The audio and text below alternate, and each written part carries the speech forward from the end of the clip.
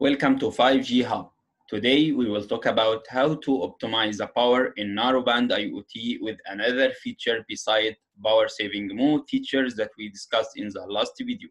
In this video, we will talk about extended discontinuous reception or EDRX. So if you are starting by power reduction method, we have two feature, power saving mode, and this from release 12 in 3GPP and extended uh, discontinuous reception from release 13. And EDRX is the most significant benefit of this feature is the user equipment has more control in terms of the power management required for its application. But before talking about extended discontinuous reception feature and how it works, we will talk about DRX or discontinuous reception. The main purpose of DRX is to lower battery consumption where there is no uplink or downlink data. And this is a common feature used in today LTE network and smartphone to reduce the power consumption. So the time device is entered to sleep mode for some period of time as configured by operator. When there is a traffic, the user equipment woke up for data reception and transmission. So discontinuous reception or DRX is a common feature used in today LTE network and smartphone. It helps to save power by switching off the receive the receiving section of the cellular module for a fraction of a second. During this time, the device is not reachable. But as the period is under a second, the phone user doesn't recognize any problem or delays.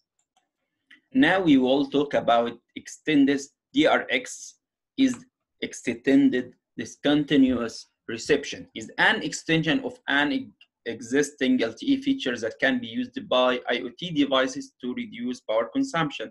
So for IoT machine-to-machine devices, most often the delay of few seconds or minutes in receiving incoming packages is not crucial. So extended or EDRX is doing that by extending the time of regular DRX. During EDRX, the device remains always attached to the network and at least 100 bytes of packages terminated to the device is forward once it's receiving the section awake again. So the DRX time can be configured up to 175 minutes for narrowband IoT and around 45 minutes for LTE-M, but this has an impact on data reception. So the device in EDRX is in active mode for a few minutes to few hours, but this is acceptable for a device to not be reachable, uh, reachable for a few seconds or uh, longer versus LTE few seconds only. So why EDRX is useful for IoT applications? If the device is sleeping for a long duration of time, it won't be reachable to the network during this period. Narrowband IoT devices are designed for applications where it's acceptable for them to remain unreachable for long periods and check paging every few hours. So EDRX works well for narrowband IoT devices.